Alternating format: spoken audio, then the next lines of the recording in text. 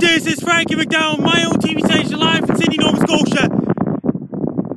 Heavy rain is headed towards Edmonton, Alberta on Sunday, May 22nd, 2016. It's going to bring very strong winds with a lot of rain.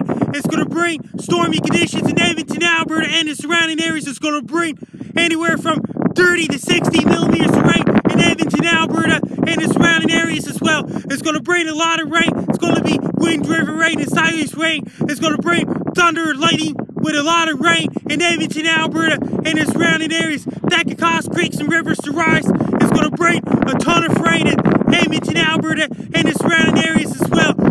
Since it's going to bring a ton of rain in city of Edmonton, Alberta and the surrounding areas as well. And Sunday will not be a good day to do your outdoor activities and playing outdoor sports in Edmonton, Alberta and the surrounding areas as well.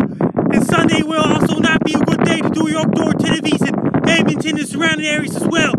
People in Edmonton, Alberta, be prepared. Have your rubber boots ready for ready for raincoats, ready.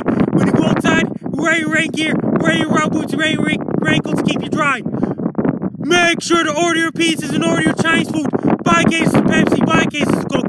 Every iPad's charged, every iPod's charged, every cell phone's charged, every laptop's charged, every tablet's charged, every 3G, 4G ready. Because it's going to be a lot of rain when you're going for a walk. Don't walk to the puddles. Avoid the puddles when you go for a walk.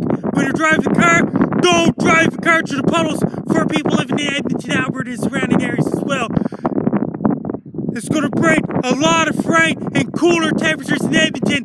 Make sure to avoid the puddles when you're driving the car in Edmonton, Alberta, surrounding areas as well.